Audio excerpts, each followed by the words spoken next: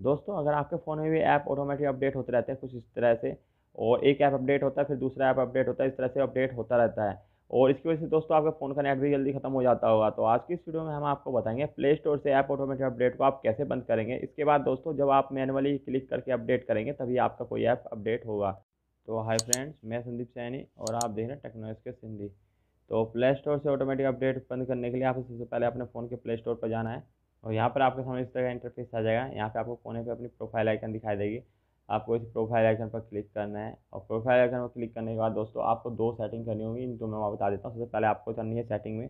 आपको सेटिंग पर चलना है। सेटिंग पर जाने के बाद आपको नेटवर्क प्रिफ्रेंस का ऑप्शन मिलेगा। नेटवर्क प्रिफ्रेंस पर क्लिक कीजिएगा। यहाँ पे एरो के निशान पर क्लिक कीजिए या नेटवर्क प्रिफ्रेंस पर तो जैसे आप इस पर क्लिक करते हैं तो आपके सामने इस तरह से ऑप्शन शो हो जाएँगे। आपको यहाँ पर एक ऑप्शन मिलेगा ऑटो अपडेट ऐप आपको इस पर क्लिक करना है।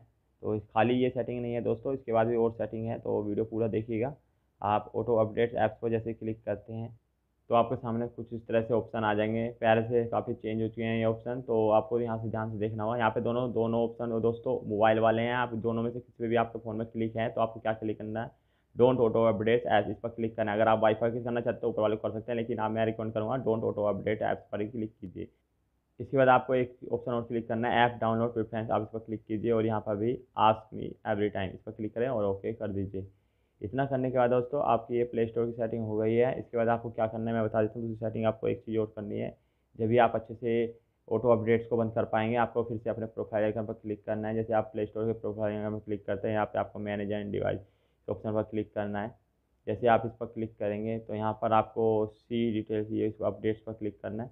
यहाँ पर दोस्तों आपके में कुछ ऐप इस तरह से अपडेट चालू होगी। तो आपको क्या करना है, इन अपडेट्स को बंद कर देना है या फिर आप अपडेट ऑल पर क्लिक करके एक बार और फिर से कैंसिल ऑल पर क्लिक कर दीजिए, सारी अपडेट्स ऑफ़ हो जाएँगी।